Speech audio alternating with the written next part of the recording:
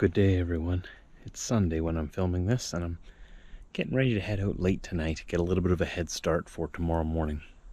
Picking up a load in Kenora tomorrow and bringing it down to Brainerd, and from Brainerd I have to run straight to South Dakota, a town called Beresford, South Dakota. I gotta pick up a load of pipe or like rolled up uh, drainage tile, I think, something like that, and bring that back up to Manitoba. First things first, we're at home here still every time we get a little bit of a windstorm, we have a ton of these branches that fall onto our yard all over the place, and we can't have that.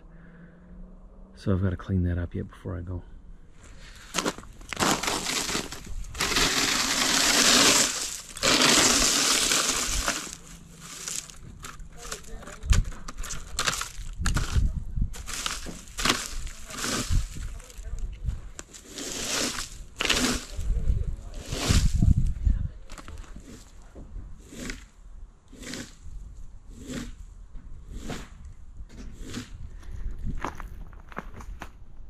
How much this tree sheds. There's just one pile here. Another one back there. I have another one from that tree. The base there. That was from last time this happened. We have a windstorm come through here and I don't know if it's just like a fall thing, you know. All the branches just fall with the leaves. But it makes a mess on our yard every single time there's a storm. As you can see where I've been raking. So I rake this half of the yard that way and this half that way. That's my project for today before we go back to the truck. It's a lot of work taking care of a yard. But it's fun.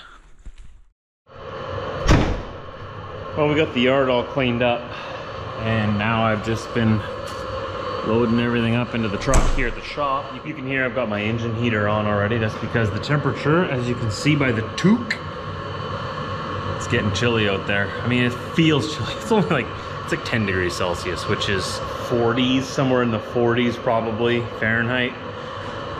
It's not cold by any Manitoba measure or metric yet, but since we've just come off of a nice hot summer, it feels cold. So it'll take a little while for our bodies to climatize to the new temperatures as we slowly ease ourselves in to the dreaded season. That which should not be named, that which shall not be named. It's coming. So let's get the rest of my stuff into Old Blue. Pretty much all I've got to do is start her up now and uh, pull her out then we'll go get the trailer, hook onto that. Just like that, and we'll head over to Kenora, Ontario. So there's not much of a vlog today. This is sort of just a weekend update.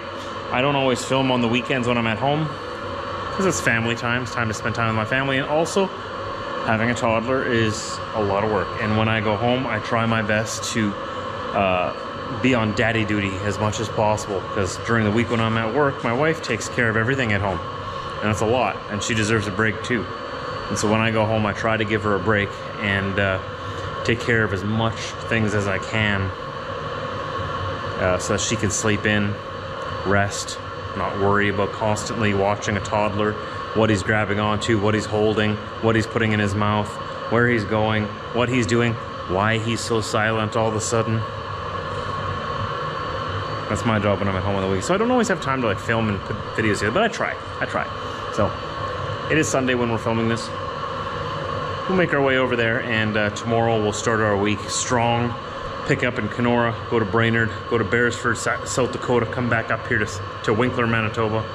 Little loop that'll get us to Winkler Wednesday morning and we'll still have the rest of the week to do something, whatever we find. That's trucking though. You don't really know what's going on until it's happening. Sorry if you can't really hear me over that engine heater. I just, I don't even hear it anymore. It's in the background. It's just, what it's doing is it's warming up my coolant in my engine.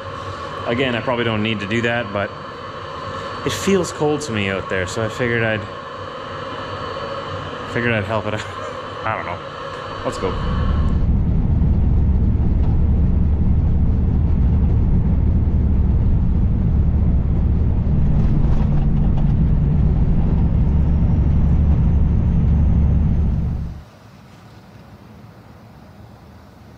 I made it.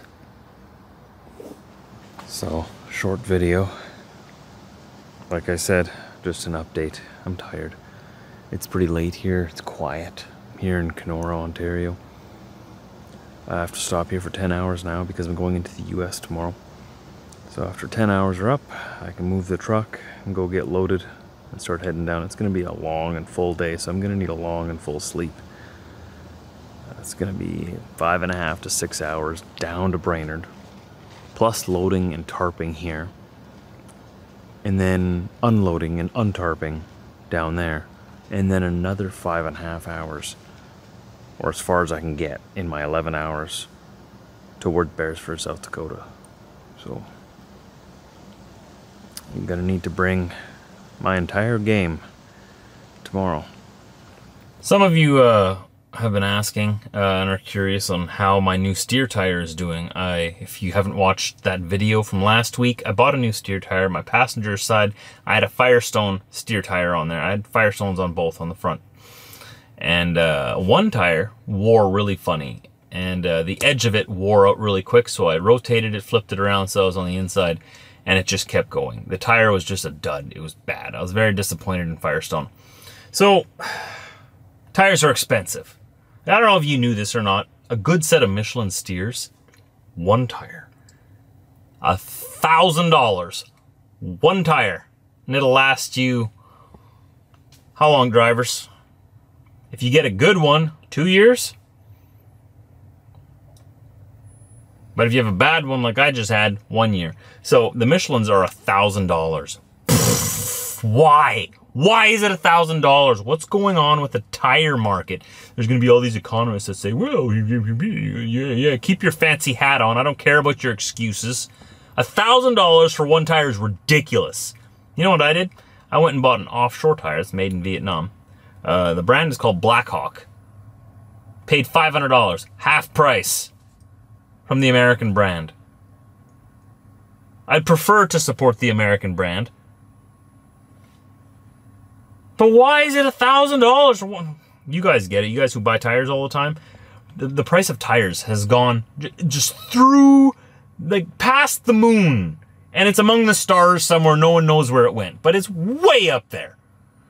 I put these Firestones on here last time because they were a bit cheaper. They were like $800. A little bit cheaper. Seven to $800, somewhere in there each. Each. So this time I'm like, hey, you know what? I'm to go cheap. I'm to buy the Blackhawk tire. And I know the Blackhawk tire, it's a regional tire. I know. Some, some, a whole bunch of people have been messaging me. Actually, actually, that's a regional tire. And for the work you do, it's not to be the, I know. I do my research on these things. Sorry, I'm getting, I'm at the end of my day. I'm a little grumpy. Uh, calm myself down. I know the tire. I do my research on these things before I buy it. I already, I, I know all, all about it. I know it's a regional tire. I'm a regional driver. This is a regional truck. Our regions in Canada are just a little bit bigger than in other places. Regional to us here is a thousand mile radius, like a 1500 kilometer radius. So from here to the Rocky Mountains west, from like here halfway through the Canadian Shield to Thunder Bay east, south all the way down to Iowa, uh, South Dakota, where I was, Minnesota, obviously, uh, Montana. Uh, that's all regional. Up to Thompson, up north, further than that. That that's regional. I'm on regional fleet, uh, so a regional tire for a regional truck, right? But I understand some people are like, oh, but you do a, a lot of miles. You want a highway tire, good highway tire. This one's gonna, I don't know. I did all that. I did all that thinking and pondering, and I, I decided to go with Blackhawk anyway.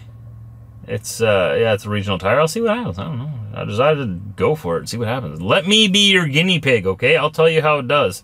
Because if you can save five hundred dollars, if you can save half, half as much, uh, half your money, just by buying an offshore tire, and it performs just as well as the other tires, why not? We're not running charities out here with these trucks. We're trying to make money. We got families at home to feed. We got roofs to keep over our kids' heads. We got to put food on the table. And we would like to have a little bit of extra to maybe take the kids to Disney World once or twice, you know? Uh, I'm not paying a thousand dollars for a tire. Are you kidding me? Are you trying to go out of business? Stop giving these people your money. They're robbing you.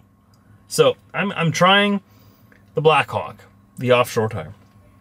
Uh, I've been using Blackhawks on my drives. And that's why I decided to try it on my steers as well, right? If you if you remember. And the Blackhawks on my drives, I paid half price for them. For Michelin's, they wanted eight thousand dollars to replace all my tires in the back. Eight tires behind my truck. Eight thousand dollars. I'm sorry, I just realized my camera's not always been focusing on my face. Forgive my. It's the end of the day. I'm tired. I'm grumpy. not focusing on the focusing. But anyways, I got these Blackhawks, four thousand dollars, half the price, and they've been doing just as good as any Michelin, BF Goodrich, or Firestone tire I've ever used in my life. Been doing this a while. I've watched how tires wear, all kinds of different brands. They're wearing just the same as any other tire. They're doing great, actually. I really like them. I'm gonna put them on my truck again next time I change my tires. So I saved four thousand dollars. And those last about, well, depends on how much you drive, right? Sorry, I was getting a little carried away there. I'm just blown away at the prices out there. And uh, if I can pay half the price and get the exact same results, why not? Even if like these tires wear down a little faster than the others, it's you still save money. So I, I've become a believer in Blackhawks. I have, uh, I've, they've won me over. So I'm gonna try them on my steers as well. So far, it's been really good it's only been a week since I've had them on there, but uh, you know, so far, I'll let you know how it goes though. Maybe I'll be totally wrong. Maybe these steer tires are to wear down all funny. They're to be terrible. They're only to last six months. If that's the case, I'm happy to admit that I was wrong, that I made a mistake, and I'll let you know so you don't make the same mistake as well. But if they do as well as my drives did, I will also let you know so you can also save that much money. So just stay tuned. I'm to have to move spots, I think, because uh, I just had a, a, livestock driver come up and I, I was not supposed to have any neighbors here, but he pulled up beside me and he's got some very noisy cattle banging around in there. I don't know if he's to stay there or not, or Maybe I'll go say hi, see what he's see what he's doing. If he's gonna stay there overnight, I'm gonna I'm gonna move. I don't want to listen to those cows going all night, banging their hoofs all over. And I'm picky. If I have a choice between a quiet spot and a not so quiet spot, I'll always pick the quiet spot. I don't know. Maybe I'm weird. Probably am. I'm tired. I know that. So I'm probably acting weird. I need to go to bed. That's what I'm gonna do. Thanks everybody for joining me. Please don't forget to subscribe. It means a lot to me and it's also free. It's the best way to support me. Leave me a comment down below for the algorithm. If you're new, leave me a comment down below telling me you're new so that I can welcome you here. If you want to go to my main page, I have playlists of videos I've made all the way back to 2011. I have quite a bit of content online. I've been making videos for about 13 years. Isn't that crazy? So yeah, love to have you as part of the crew here. Subscribe and please come back tomorrow. There will be more videos. So thanks for hanging out for this short little while. I'll see you tomorrow for a more full-length vlog. We'll start here and make our way south. I could use your company tomorrow. It'll be a uh, tough one to get through. First day on the road after being home for the weekend is always the hardest. So I'd appreciate if you'd come hang out. Hit, uh, hit that like button down below. Leave me a comment. I'll see you right here tomorrow at 4 p.m. Central Time.